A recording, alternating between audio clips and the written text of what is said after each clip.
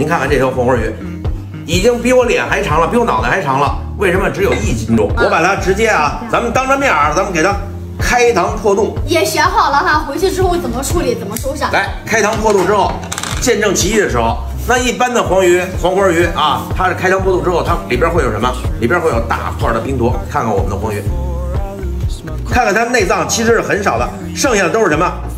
非常肥美的，看是什么？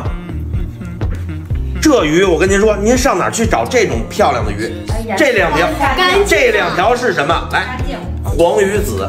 来，这个千万别扔，千万别扔。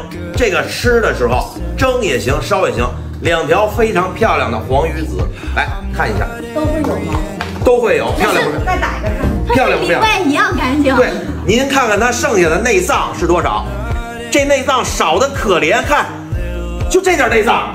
气人不气人？这一条我们也把它开了膛，它这边只只是去了。这个有没有？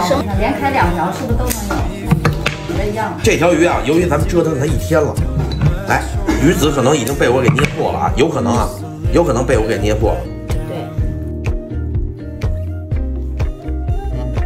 红鱼，这是我画了一天给大家展示的红鱼，来看看里边的鱼籽。看看这条的鱼子，里边蘸的是什么？里边蘸的都是真材实料。就这鱼子，您上哪儿去找？这不是水质好是吗，何老师？当然了，而且它生活条件咱再看看它的内脏。哎呀，这又是少的可怜。这这需要送礼的，这个礼盒绝对有面子拿出去。来，您看看，礼盒装里边有几条？一条，两条，三条，来，四条。